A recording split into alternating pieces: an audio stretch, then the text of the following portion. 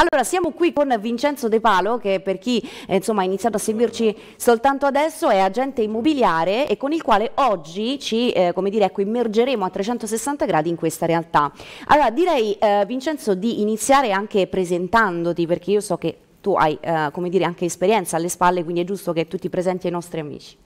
Grazie, allora io svolgo attività di agente immobiliare, per fare questa attività ho superato degli esami, due prove scritte e un orale presso la Camera di Commercio di competenza, la mia è quella di, di Frosinone, poi c'è stata tanta gavetta, eh, circa 12 anni di, di intensa attività è un'attività immobiliare che si deve fare aprendo una partita IVA, c'è tutto un excursus imprenditoriale. Ho, iniziato con le agenzie del territorio, quelle sotto casa, come si suol dire in gergo ecco, più, più semplice, e poi ho iniziato un percorso un po' più intenso perché l'esperienza, il, il, guadagno, il fatturato mi ha concesso di, di, di, potermi presentare a delle società un po' più grandi. Certo. Oggi sto con la società americana Coldwell Banker, che, che è una società eh, americana nata a San Francisco, eh, ha un'esperienza addirittura dal 1906, wow. eh, quindi beh, eh, è importante, è un colosso del settore immobiliare, ha sedi in tutto il mondo, dagli Stati Uniti alla Cina, passando per l'Europa, però poi è anche una grande responsabilità perché solo in Italia fatturano miliardi di euro e quindi eh, non si può perdere tempo. Certo. Bisogna vincere. allora, eh, questa domanda ovviamente noi eh, la, la, ponevamo anche perché eh, dobbiamo sfatare un po' di miti, no? Allora, ci sono delle persone che all'interno di questo settore pensano di potercisi immergere anche senza competenze, invece anche con, avendo descritto quella che è stata la tua esperienza e quindi il tuo percorso, diamo anche l'opportunità a chi ci segue di far capire che non è così assolutamente, ma bisogna studiare, bisogna professionalizzarsi per arrivare anche a alti livelli. Beh certo, perché è importantissimo studiare e aggiornarsi. Vendere casa non può voler dire è impossibile mettendo soltanto il cartello vendesi. Ecco. Non è così. Il cliente ha problemi tecnici, ha problemi... Eh, in un certo senso io dico che l'agente immobiliare deve essere un mediatore e non può fare per legge altre professioni, però a volte ci sentiamo un po' come gli avvocati perché quando ci sono problemi di eredità, di successioni, eh. donazioni, dobbiamo avere un'infarinatura per fare poi la differenza, eh, cercando di far capire ai clienti che poi ci si deve rivolgere all'esperto giuridico, in questo caso l'avvocato di turno, perché noi non ci possiamo certo. sostituire. Come gli avvocati e i geometri non si possono sostituire a noi. Certo, ci vuole tanta preparazione, perché poi oggi siamo tanti, quindi è dura, però se si ha costanza desiderio imprenditoriale e anche un pizzico di fortuna è un mestiere che può far guadagnare più di quanto guadagni un impiegato comunale in un anno, però prima di raggiungere questi risultati un pizzico di fortuna, no? dicevi, quella c'è sempre, sempre, bisogno di un po' di fortuna, però dire, la preparazione e l'impegno occupano gran parte diciamo così, del percorso. Volevo anche spiegare ai nostri amici assieme al tuo aiuto ehm, come dire, come si è evoluto anche oggi il mercato immobiliare? Perché tu mi dicevi oggi non è semplice, cioè, ci sono tante persone, come dire c'è anche tanta competizione, ma eh, a livello proprio di mercato immobiliare cosa è accaduto? Allora, nel mercato immobiliare è accaduto che chiaramente è un settore che eh, reagisce a seconda della situazione economica ed internazionale sì. più generale ed anche internazionale quindi se l'economia non funziona, anche il settore immobiliare È non funziona. Certo. Eh, un territorio per far funzionare il settore immobiliare dare valore agli immobili deve avere i servizi, quindi la prima cosa che consiglio ai cittadini è quello di battersi per avere dei servizi che funzionano, altrimenti il territorio rimane indietro. Eh, tra Roma e la provincia di Roma c'è già una distanza in termini di di qualità eh, in tal senso. E tra la provincia di Roma e, e, ahimè, la provincia di Frosinone c'è una distanza ancora più importante, però speriamo di, di, di, di creare un collante anche con il nostro impegno eh, eh, professionale, di creare un collante positivo che possa aiutare il, il territorio. E poi capire che ci sono tante tante incompetenze. E io vorrei lanciare eh, questo messaggio sì. che è importante. Al prezzo giusto si vende sempre. Al prezzo giusto si vende sempre. Con una strategia giusta. Io, se i clienti non mi seguono, io non prendo l'incarico, perché poi facendo parte di una grande società che è la Coldwell Banker, non è che mi devo mettere la stellina come eh, tendenzialmente tutti quanti abbiamo fatto all'inizio della nostra professione, perché certo fa parte un po' del percorso, no? No, è chiaro. Dire alla società ho preso l'incarico, ce l'ho fatta, però oggi ho... Dopo un po' di esperienza, insomma, non è quello, no? Non è esatto. prendere l'incarico che, esatto. che, fa la differenza. Eh, però strategia giusta si va a dama, sicuro. Ottimo. Io volevo anche, eh, visto che insomma, ecco, hai eh, approfittato anche tu di questo spazio per dover mandare un messaggio molto importante ai nostri amici anche sulla professionalità, mi viene in mente anche che nella maggior parte dei casi ci sono persone che decidono di eh, in qualche modo anche lavorare in autonomia, cioè eh, perlomeno ecco, in questo settore magari fare delle scelte in maniera autonoma senza consultare chi di competenza. Cosa succede poi? Che magari si ritrovano invece di risparmiare a spendere il doppio perché poi devono riparare ai danni che il non professionista ha fatto, giusto? Beh certo, allora ehm, io eh, mi è capitato durante il mio percorso, la mia carriera, di sentirmi dire eh, De Palo faccio da solo, oppure ah, no? ti mi dà del tu Vincenzo faccio da solo, eh, che può anche essere, perché certo. il mercato è fatto di tutto. Una cosa è certa, primo, il professionista non può spargere di grano turco un immobile sperando che passi il pollo di turno, perché non sarebbe una vendita seria certo. e non la possiamo proporre ai clienti. Primo passo. Secondo punto, agire da soli. Ora, io lavoro per la Goldwell Banker, che è una società di livello internazionale. Come ce ne sono altre, eh? perché eh, ci sono dei colossi nel settore immobiliare. Io faccio parte di una società tra queste. Allora, secondo voi, lo dico al pubblico, una società che apre sedi in tutto il mondo, eh, se fosse così facile raggiungere gli acquirenti da soli, eh, vi pare che una società possa aprire sedi in tutto il mondo? Non avrebbe senso. Certo. Allora, se spende tutti questi investimenti, con sedi dagli Stati Uniti alla Cina passando per l'Europa, evidentemente c'è un perché. L'acquirente non si trova per strada eh, e, e poi bisogna salvaguardare la professionalità. Io non posso proporre una vendita azzardata perché non sarei serio. Noi siamo una sorta di avvocati del settore immobiliare, almeno i professionisti veri. Certo. Personalmente io non inseguo gli incarichi io creo entusiasmo con una strategia messa per iscritto, nel rispetto del venditore e nel rispetto dell'acquirente.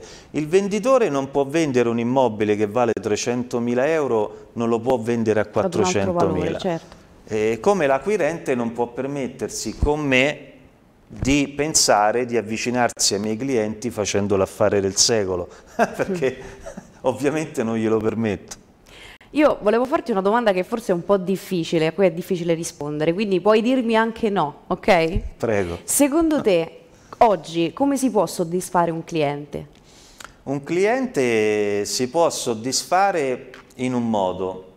Innanzitutto io al cliente dico sempre di raccontarmi la sua storia.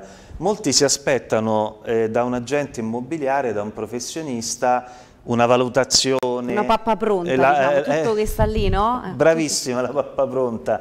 Non è il mio modo di lavorare e non è il modo di lavorare della Goldwell Banker. Il mio modo di lavorare per essere, ehm, diciamo, fiero di appartenere ad una società importante e dimostrare alla società risultati è che il cliente mi deve innanzitutto raccontare la sua storia Se il cliente non mi racconta la sua storia è un pessimo cliente e io non inseguo i pessimi clienti. Primo passo. Poi cercare di, di costruire una strategia, io sono molto meticoloso nei particolari. Sì. Se un immobile, eh, come ad esempio questo bellissimo studio, è stato costruito con dei materiali edili interessanti, per me vanno descritti, perché è una cosa Vale importante. la pena farlo, certo. Vale la pena farlo, perché poi noi abbiamo clienti italiani, stranieri, e il cliente straniero vuole il tappeto rosso, ma non perché sia un cliente antipatico, ma perché spende tanti soldi e non li spende a caso. Stavamo parlando dell'evoluzione del mercato e non solo, perché tra pochissimo faremo anche una prospettiva futura. Prima però mi chiedono i nostri amici che ci hanno scritto appunto al 320 23 833 cosa deve fare attenzione un agente immobiliare e a cosa deve fare attenzione invece un venditore per far sì che tutto vada nel, nel miglior modo possibile.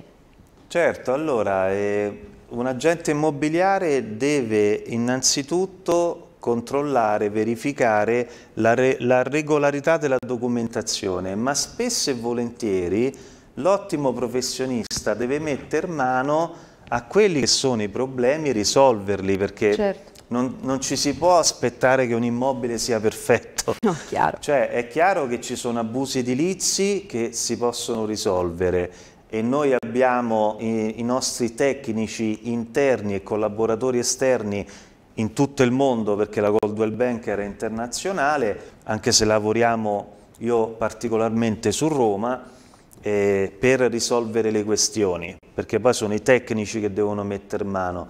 Il controllo della documentazione e soprattutto quando si arrivano a delle situazioni limite per cui il venditore non vuole spendere soldi, l'acquirente non vuole spendere soldi per, soldi per risolvere determinati problemi, bisogna riuscire a trovare un equilibrio eh, o nel prezzo oppure durante la trattativa io ho vissuto trattative estenuanti di venditori e acquirenti che sono stati anche ad aprire trattative di sei mesi. Ah, però. però. Però, con calma, il lavoro è anche psicologico dell'agente immobiliare.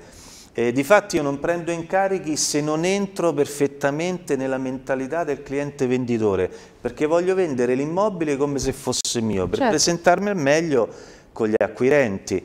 Il venditore deve seguire il vero professionista, dargli retta, Fare un prezzo che gli consenta di non svendere l'immobile, però deve trovare un equilibrio. Certo. Tenere la casa in ordine, mantenerla, fare qualche lavoretto di ripittura potrebbe essere molto utile. Anche accattivante, no? Anche Perché... accattivante, certo. Quindi tutte quelle condizioni che rendano speciale, perché l'acquirente, quando va a comprare l'acquirente serio, state pur certi che ha già individuato l'immobile che gli interessa, sta aspettando di capire se si, si, dovesse abbassare il prezzo, cosa sta accadendo, prende informazioni sul proprietario.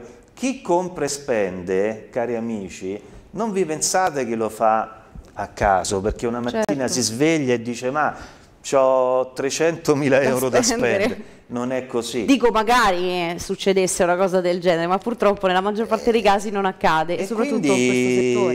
Io devo evitare i turisti immobiliari, certo. eh, non perché mi sia antipatica la categoria, però non voglio perdere tempo.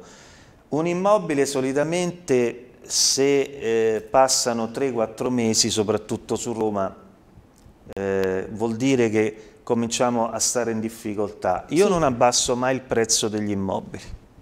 Questo è un altro consiglio perché eh, se io vendo un immobile a 300.000 euro cifra di fantasia e poi abbasso il prezzo e lo porto a 2,90, 2,80, 2,70, 2,60, è chiaro che viene l'acquirente e, e un immobile che poteva essere venduto a 300.000 perché vale 300.000 e l'acquirente non te ne offre più 2,90, 2,80, ma te ne offre 2,40. Ti offrirà sempre meno rispetto al prezzo. Chiaro, chiaro. un po' la strategia, come e dire, ci provano, ci provano. Mai, mai deprezzare il proprio immobile, però scegliere il prezzo giusto è fondamentale. Poi un network internazionale come quello di cui faccio parte chiaramente fa la differenza certo. perché se solo in Italia fatturiamo 40 miliardi di euro all'anno qualche acquirente ce l'abbiamo. ci sarà, certo. Allora concludiamo invece con una domanda che riguarda il mercato immobiliare del futuro. Cosa succederà secondo te? Previsioni, mettiamola così. Eh, previsioni, allora questo è un domandone.